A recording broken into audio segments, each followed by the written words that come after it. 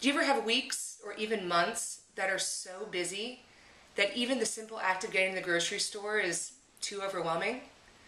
This month, I wanted to talk to you about the idea of automating your grocery shopping. So you still have time to get everything done, but you have food home on hand to take care of you and your family. The first thing that I want you to do is visit the website of your favorite grocery store.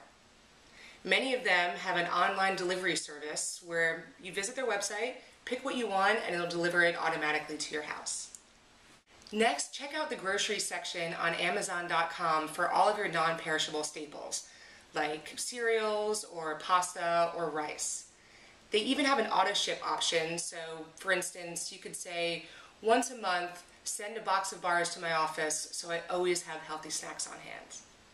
Finally, now that it's spring, consider joining a local CSA.